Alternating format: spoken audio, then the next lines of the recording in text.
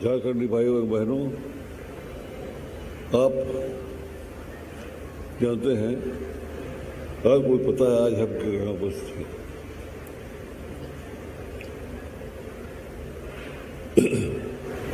हम आदिवासी पूरे देश पूरी दुनिया में जगह जगह पर हैं। ऐसी कई उपस्थित हैं, कहीं बहुत बहुत कम हैं, उपस्थित कहीं ज़्यादा है। तो उस हिसाब से लोगों ने अपना अपना जीने खाने का, रहने का प्रयास करते आया है, रह रहा है। आज उसी में से हम लोग भी हैं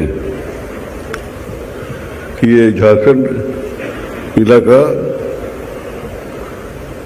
देश के बहुत से राज्यों में छिटफुट है जाके लोग अपने को झारखंडी कहता है। और उसी अनुसार में करीब करीब हम लोग आदिवासी लोग एक ही प्रकार, एक ही प्रकार के अविकसित हैं और सभी लोग पढ़ने लिखने के लिए प्रयास कर रहा है।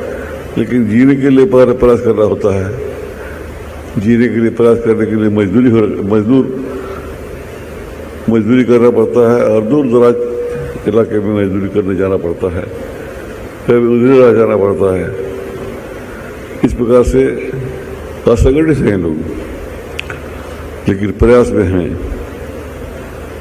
हम लोग कैसे दूसरे समाज की तरह आगे बढ़ेंगे और अपने बाल बच्चों को पढ़ाएँगे, लिखाएँगे या जीने का जो भी साधन है, उसका हम उपयोग करेंगे। पहले तो हम लोग जंगल के सहारे जीते थे। आज भी जंगल के सहारे जीते हैं, लेकिन जंगल और रह नहीं गया। इतना इतना इतना सा खर्चा हुआ, इतना लोगों ने उसको खर्च किया, काटा, सुखाया बेचा कि जंगल ही समाप्त होने जा रहा है। फिर भी जंगल में जो सखुआ पेड़ हैं, वो अपने आप को आज भी हिम्मत के साथ खड़ा है कि हम हैं और हम उजड़ नहीं सकते हैं। हमारा सिर्फ़ सेवा सुरक्षा रखेंगे।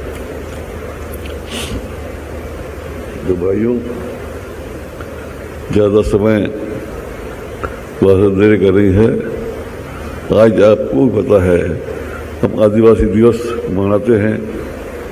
हम लोग झारखंड में शुरू किए हैं और हमारे आने वाली पीढ़ी भी इसको मनाते रहेंगे। इसे एक बल मिलता है, अपने समाज को खड़ा रखने में, परिचय देने में, अपने जो लोग आगे बढ़े, जो लोग आगे पढ़े लिखे हैं, वो लोग अपना बताते हैं। हम लोग सुनते हैं और अनुसार चाहते हैं कि हमारा भी बाल बच्चे लोग पढ़े